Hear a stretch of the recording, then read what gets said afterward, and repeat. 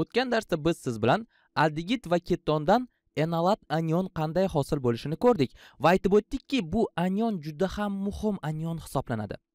Xo'sh bu darsimizdagi asosiy savol mana shu anion qachon qaysi modda bilan ko'p miqdorda hosil bo'ladi qachon ko'p miqdorda hosil bo'la olmaydi. Buni bilish uchun avvalambor men mana bu yerdagi aldigit molekulasiga asos sifatida etoksid anionni ya'ni natriy etoksidni yoki kaliy etoksidni qo'shmoqchiman. Tasavvur qilaylik mana shu modda natriy etoksid ko'rinishida qo'shildi. Natriy o etil. Mana bunday ko'rinishda.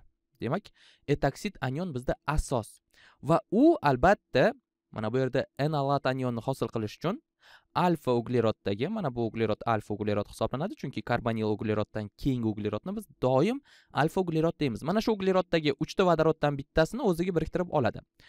Demak bittagina vodorodni chizaman va mana shu vodorodga asos tomonidan hujumni amalga oshiraman. Buning natijasida mana bu yerdagi elektronlar albatta uglerodga ko'chib o'tadi. Bizda esa mahsulot hosil bo'ladi. Mahsulotni chizishim mumkin. Vodorod uglerodga birikkan demak kislorod va uglerodda endi juft elektronlar bor. Mana bu ko'rinishda.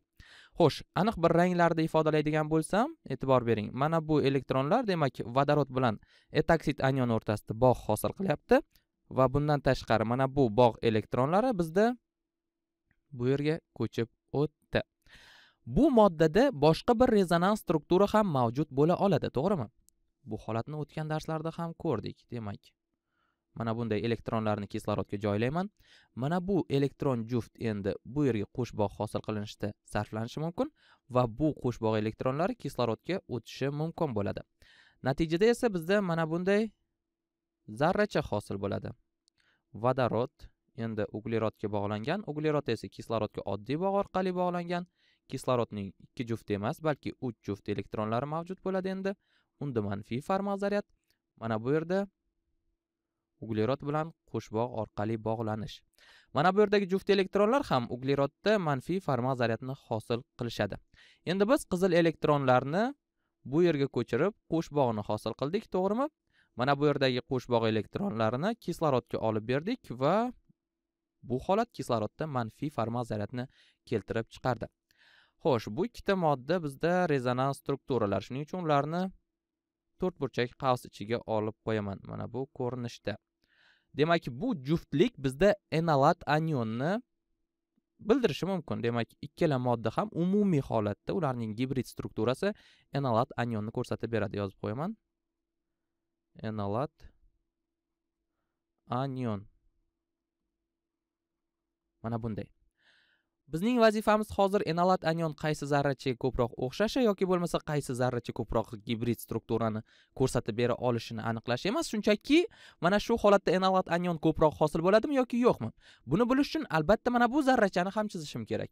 Demak etoksid anion bizda vodorodga birikdi. Mana bunday modda etanol molekulasi hosil bo'ldi. Bu yerda ham juft elektronlar bor va mana shu juft elektronlarning bittasini aytish mumkinki mana bu bog' hosil bo'lishiga sarflab yubordik. To'g'ri? Endi biz mana shu jarayonga javob topish uchun ya'ni qaysi modda ko'proq hosil bo'ladi? o'ng tarafdagi moddalarmi yoki chap tarafdagilarmi? Buni bilish uchun mana bu formulaga e'tibor berishimiz kerak.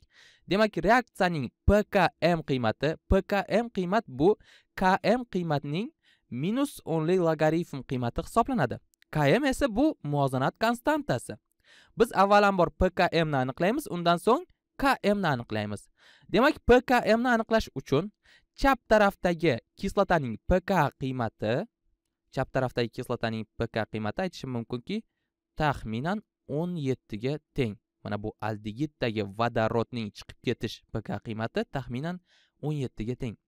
Bu yerdagi kislotamiz esa etanol molekulasi va etanolning pk qiymati bizda taxminan 16 ga teng deyishim mumkin.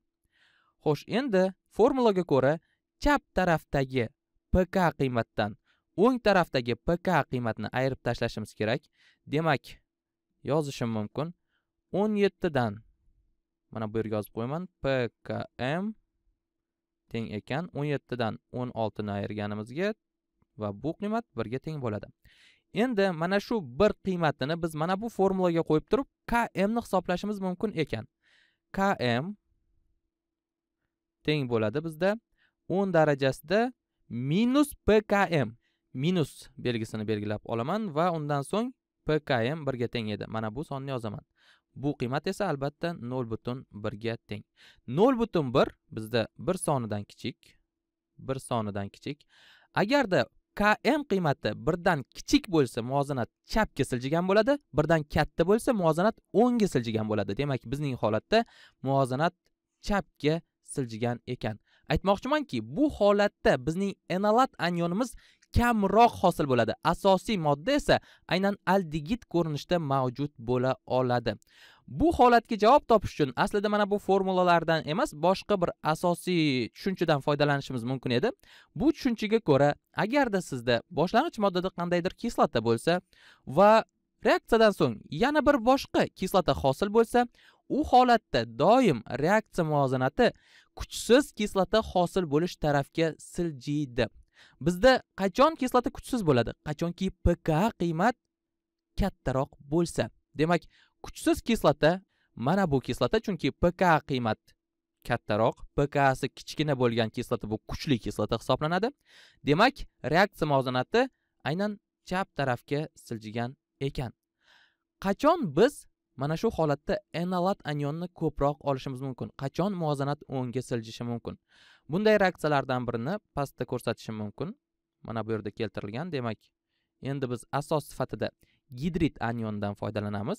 Gidrid aniondan foydalanish uchun qanday modda qo'shishim kerak? Masalan natriy gidridni qo'shishim mumkin natriy plyus gidrid minus ko'rinishda yoki kaliy gidridni qo'shishim mumkin.